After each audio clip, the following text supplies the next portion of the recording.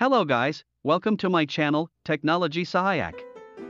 Guys, you can see on my phone screen when I want to open the Instagram app, but the app is showing this type of message without opening.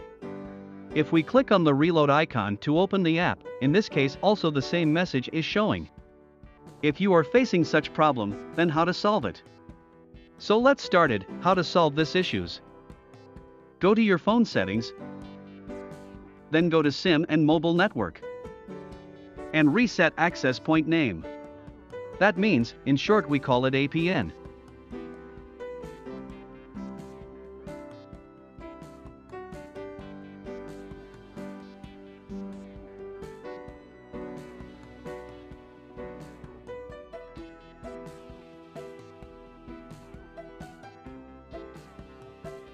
Next we will update our Instagram app.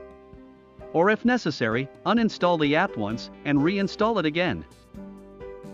Then we will reboot our phone due to network reset. Then hopefully our problem will be solved.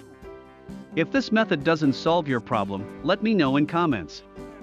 I will try to answer your comments as soon as possible. Guys, if you think this video is helpful for you, please like that video and also subscribe my channel. Thank you for watching.